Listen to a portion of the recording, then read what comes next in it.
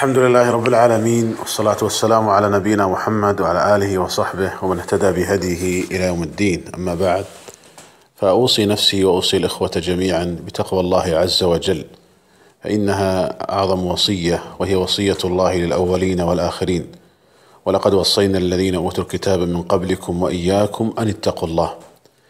والإنسان لا ينفعه بعد مماته إلا ما قدمت يداه من أعمال صالحة.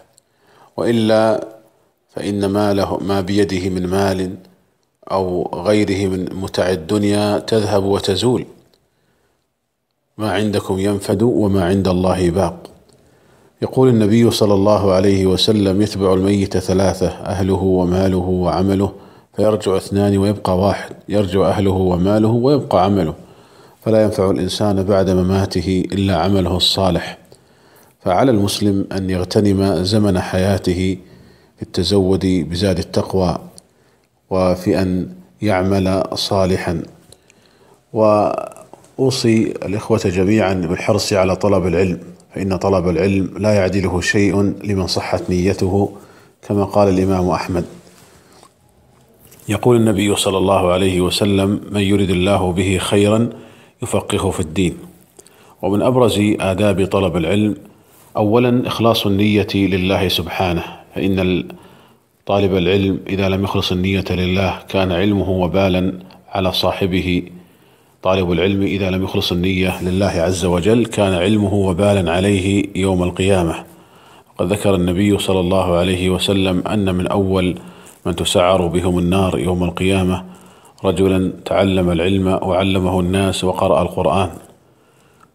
فيلقى على وجهه في النار وتسعر به النار ويقال تعلمت ليقال لك عالم وقرأت القرآن ليقال لك قارئ فقد قيل. فانظر إلى هذا الرجل كيف أن علمه أصبح وبالا عليه بسبب سوء النية وسوء المقصد. أيضا من آداب طالب العلم العمل أن يعمل بما يعلم وإلا فعلم بلا عمل لا فائدة منه. فلا يليق بطالب العلم مثلا أنه لا يصلي صلاة الفجر مع الجماعة في المسجد. إذا كانت تفوته الصلاة مع الجماعة في المسجد فما الفائدة من علمه إذن؟ فلا بد أن يعمل طالب العلم بعلمه. أيضا من آداب طالب العلم الصبر فإن العلم لا يستطاع براحة الجسد. لا بد من الصبر في طلبه وفي تحصيله. قد كان السلف الصالح يرتحلون في سبيل طلب العلم. وارتحل جابر بن عبد الله الأنصاري من المدينة إلى الشام من أجل سماع حديث واحد فقط. وارتحل أبو أيوب الأنصاري من المدينة إلى مصر من أجل سماع حديث واحد فقط. والرحلة في طلب العلم مشهورة في كتب السير والتراجم. أما في وقتنا الحاضر فقد أصبح العلم ميسورا ومبذولا وما على طالب العلم إلا أن يشحذ همته لطالب العلم. فقد تيسرت وسائل تحصيل العلم أكثر من أي وقت مضى.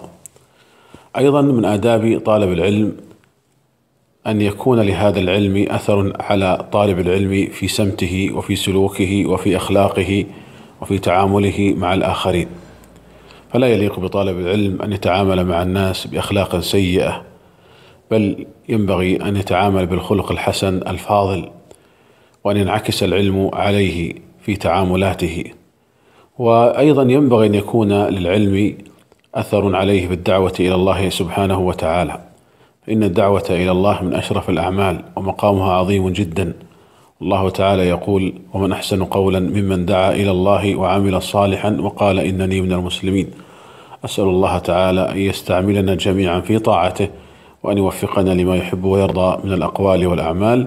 وصلى الله وسلم على نبينا محمد وعلى آله وصحبه أجمعين.